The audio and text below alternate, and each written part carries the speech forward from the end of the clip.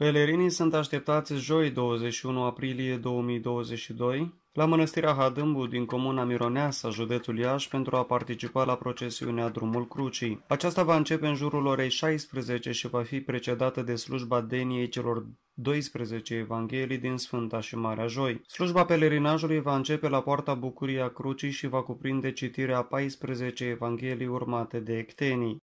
Voi veți da seama și răspunsând tot poporul a zis sângele său asupra noastră, asupra copiilor voștri.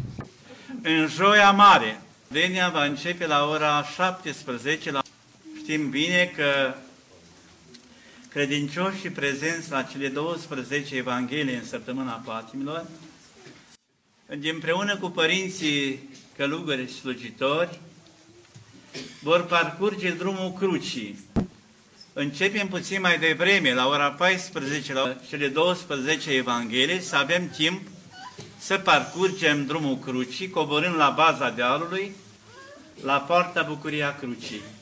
De acolo se va rosti la fiecare troiță câte o Sfântă Evanghelie, o ectenie și vom urca până în dealul mare, la ultima cruce unde se va ține cuvânt de învățătură.